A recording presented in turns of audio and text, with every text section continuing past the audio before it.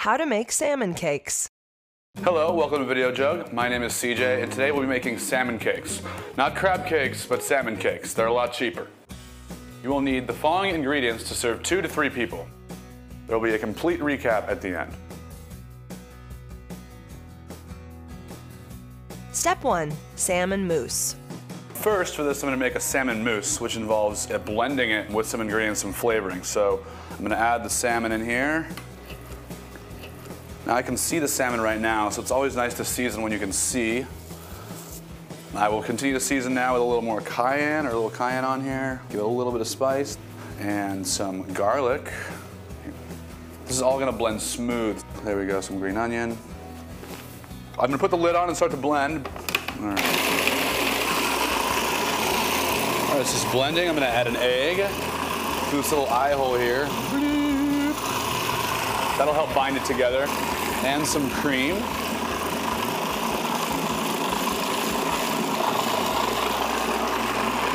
And that should do it. Step 2 Add the green.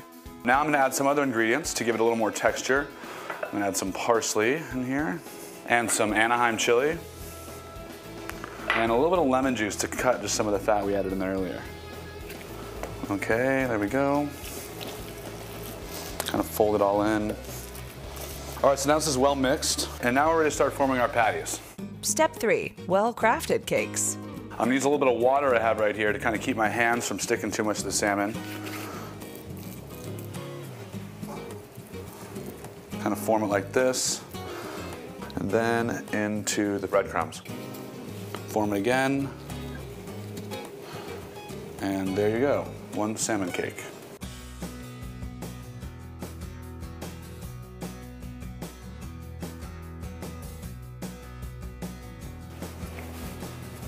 Okay, all we need to do now is just saute these things up. Step 4 Sauteed salmon. A little olive oil in the pan. A little more, I wanna coat the bottom. I wanna cook these a little bit slower too, so they'll get nice and golden brown, but they'll definitely cook all the way through. It is uh, raw salmon. So here we go. One in, two in, three. All right, so now they're gonna hang out like this and saute for a little while. Crab is a little more high in cholesterol. Salmon, a more healthy alternative. Again, these are allowed to cook a little bit. Heat's kind of coming up and cooking the fish. We have our first salmon cake to turn right here. Voila, ooh, nice and brown. Ooh, that's a nice one, huh? Now as I touch these, I can tell they're, they're a lot firmer and they're pretty much cooked all the way through. This guy's done. Here we go, give it a little shake.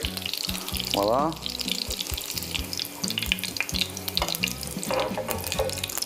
Step 5 Season and serve. Like all fish, lemon is its best friend. So I'm gonna squeeze a little lemon on top, top of these.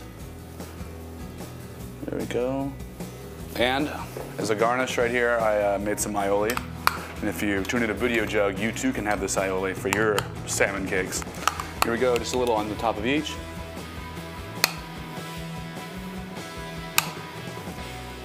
And here they are, they're not crab cakes, these are salmon cakes and they are done.